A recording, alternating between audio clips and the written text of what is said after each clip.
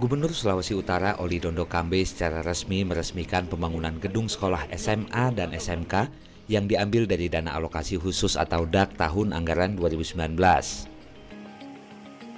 Kegiatan yang dipusatkan di Semantiga Manado itu dihadiri Sekretaris Daerah Edwin Silangen, Kepala Dinas Pendidikan Dr. Grace Punuh MKes, Kepala Semantiga Manado Dr. Grace Lowing MPD, dan tamu undangan penting lainnya. Dalam sambutannya, Gubernur Sulawesi Utara Oli Dondo Kambe mengatakan untuk tahun anggaran 2019 ada sekitar 30-an proyek yang diresmikan.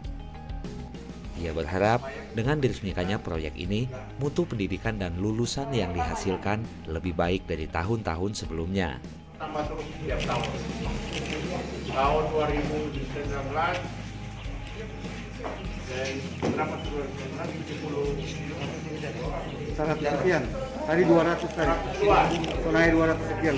Tahun 2020 naik lagi 200 sekian miliar. 213. Iya tadi.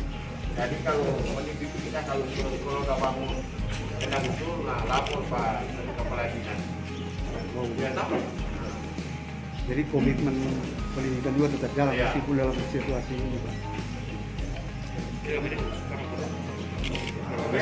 Menyangkut yang ini Pak mengenai eh, kesiapan untuk tenaga untuk dalam rangka SDM. Tadi kan Bapak singgung supaya SDM unggul ke depan.